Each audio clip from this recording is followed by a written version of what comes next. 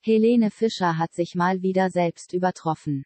Die Sängerin zählt zu den erfolgreichsten Schlagermusikern überhaupt, nicht nur mit ihrer gewaltigen Stimme, sondern auch mit aktionreichen Bühnenshows und atemberaubenden Looks verzaubert die atemlos durch die Nacht Interpretin ihre Fans immer wieder aufs Neue. Jetzt trat die Beauty bei das große Schlagerjubiläum auf. Dort begeisterte Helene die Zuschauer mit einem brennenden Outfit.